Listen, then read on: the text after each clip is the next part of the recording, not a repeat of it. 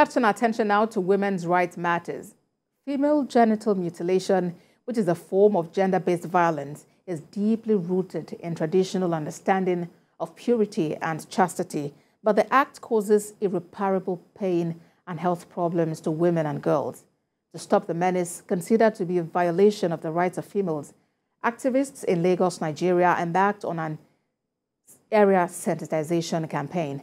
We have a report. Female genital mutilation involves the partial or total removal of the external female genitals for non-medical reasons.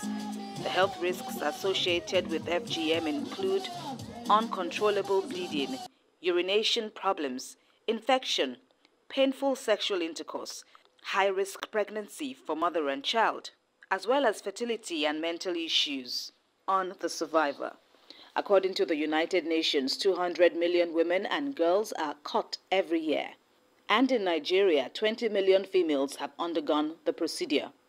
This makes Nigeria the country with the third highest cases in the world. The UN and its partners are here at Ashukbo community in Bariga asking residents to stop the dangerous practice. So as advanced and privileged as Lagos is in many areas, there are also huge areas of Lagos where there is not a lot of awareness and where we do know the prevalence is very high. So that is why we are in Lagos. We must not forget that we also, in, in a time of my global migration, we also have migration from rural areas to urban areas.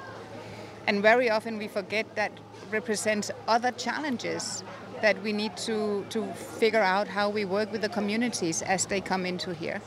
Under the Violence Against Persons Prohibition Act of 2015, perpetrators are liable to a four-year jail term or a 200,000 naira fine. Something wrong that she has to deal with.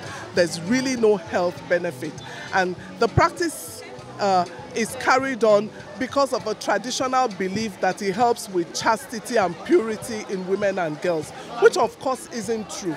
And the more community members recognize that there's no awareness, there's no need for this, there's more awareness amongst them that there's no need for this, the, the practice is likely uh, to come down and not be practiced anymore.